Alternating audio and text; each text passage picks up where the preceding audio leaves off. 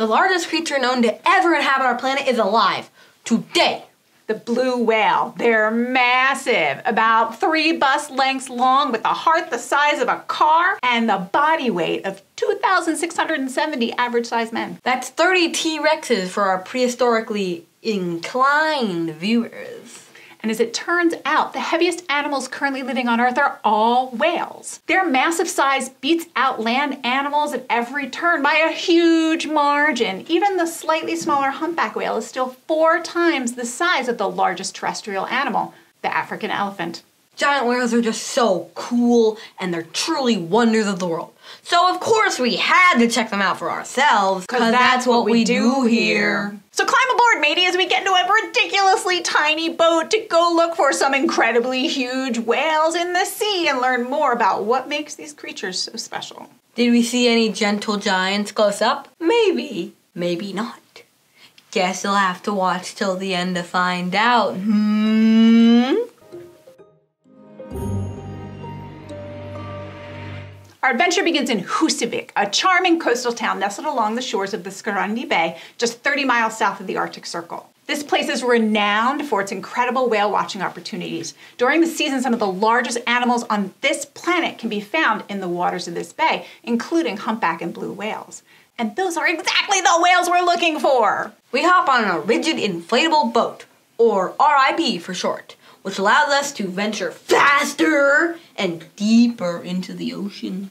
It's the perfect vessel to search for these magnificent creatures. And it's also super fun to ride on, but only if you don't get seasick because you are gonna bounce around, folks. Bouncing montage, commence!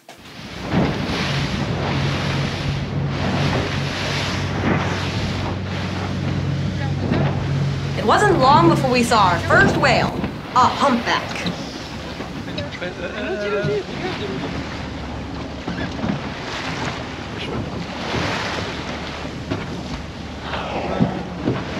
These giants boast massive pectoral fins that can reach up to 16 feet. They get their common name from the dark hump that's on their backs, although they also have varying amounts of white markings and other unique physical features that help scientists identify individual whales, kind of like fingerprints.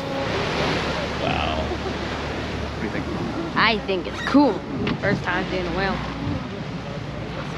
They sing enchanting songs that can travel amazingly long distances.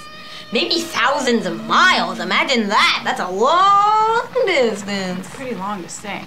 And these whales like to show off. Those are the favorite for whale watchers. Their acrobatics can include slapping the water with their flukes and fins, rising nose or tail first up into the air, swimming really fast, and of course, breaching, making a huge splash into the ocean. Except here in their summer feeding grounds, you're much less likely to see one of those fantastic breaches because even just a few seconds of this behavior requires a lot of calories from this creature. As many as even 500 each. Short effort. Wish I could burn 500 calories in just a matter of seconds. You'll understand when you're older. Anyway, this means they don't breach without really good reason, like showing off during mating, except these whales aren't here to mate. Nope, they're here to eat and bulk up, not to burn calories. So, to see a breach here is a very rare treat. Humpback whales are found in every ocean in the world, except these whales here are tourists like us. They're just visiting these waters off the coast of Iceland. But these whales worked a lot harder to get here. They have one of the longest migrations of any mammal on the planet. It's true, they travel up to 8,000 kilometers annually from summer feeding grounds like these near the poles to warmer tropical waters such as the Caribbean Sea to mate and give birth to calves. And this means that when they travel, they bring their babies along with them. So if you're lucky, you may get to see mothers and calves swimming close and often touching flippers in what seems to be a gesture of affection. Just like the pair we were lucky enough to see on our adventure. Not us, like actual whales. Yeah. I mean, we're cute too, but whales are hmm. cuter. True. We've got one more whale sighting surprise for you. But first, where are those blue whales anyway? They're so big we should be able to see them. There she blows! Oh wait, that's just a rock. With a weight up to 200 tons, you'd think they'd be hard to miss if they were swimming nearby. Amazingly, they reach these fantastic sizes almost exclusively on a diet of krill. The tiny shrimp like creatures, they filter through their baleen just like the humpback. Is that filtering? Yeah. Okay. Blue whales consume nearly four tons of these little animals a day. That's a lot of little tiny crustaceans. And just like the humpback, blue whales are also just visitors here, passing through on a journey to their feeding grounds farther north in the Arctic. The waters around Iceland just don't provide them enough food to stay longer.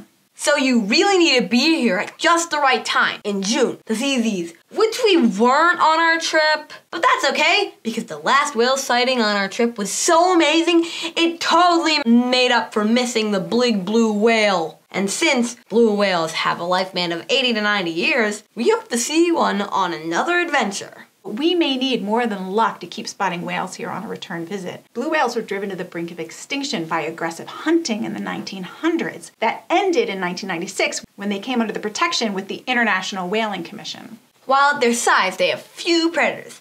Many are still injured and die from ship impacts or encounters with loose fishing gear. Unfortunately, the blue whale has remained endangered worldwide since their protection in the mid 1960s. They just haven't seen the amazing recovery that the humpback has, for example. Once endangered, humpback whales have bounced back in response to a remarkably successful global effort at conservation. Now, while the humpback does still face ongoing threats and is still considered in danger in parts of its range, those worldwide efforts at protection meant that we got to see and experience this. There you go! Wow. Oh my god! Nice ending! Amazing. Oh! Oh my goodness. There you go! Have lunch. Over and over. You're, you're showing off.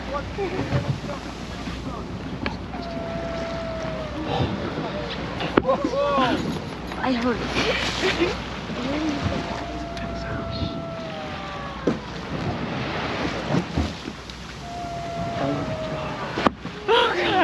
Oh my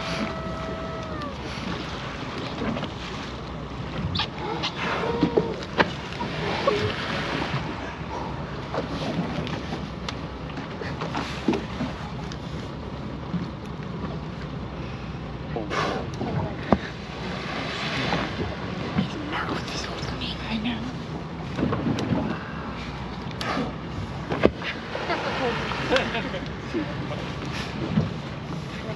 Oh, We got